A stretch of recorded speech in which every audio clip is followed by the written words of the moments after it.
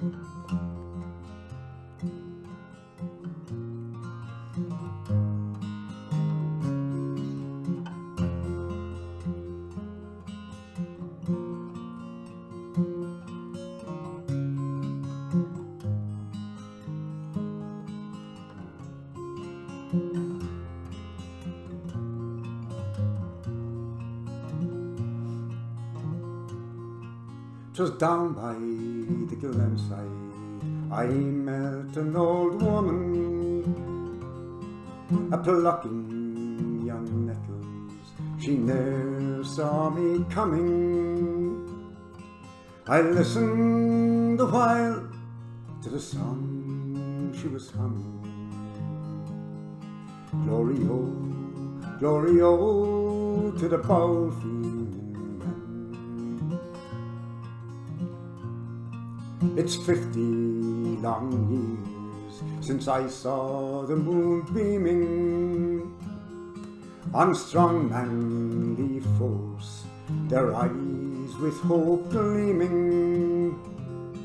But I see them again through all my sad dreaming.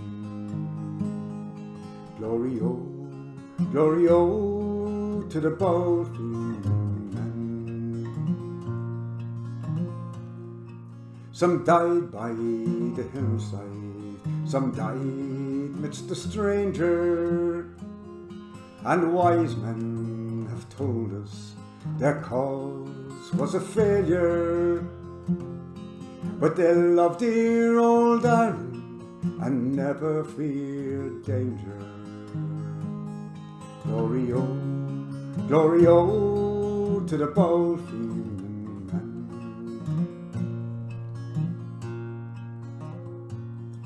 do not grudge them. Lord, I do not grudge my two strong sons that I have seen go out to break their strength and die, they and the few, in bloody protest for a glorious thing.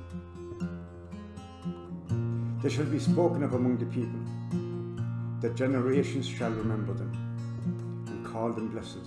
But I will speak their names to my own heart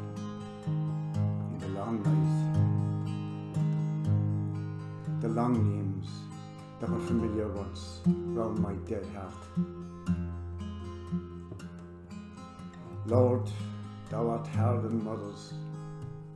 We suffer in their coming and their going. And though I grudge them not, I weary, weary of the long sorrow. And yet, I have my joy my sons were faithful and they fought. I passed on my way. God be praised that I met her. Be lifelong or short, I will never forget her. We may have brave men, but we'll never have better. Glory oh, glory oh to the bold Fenian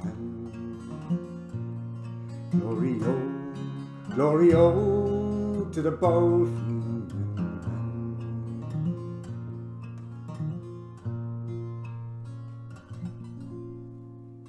God, that poem written by Padraig Pearse in his death cell hours before he was executed to his mother for his mother.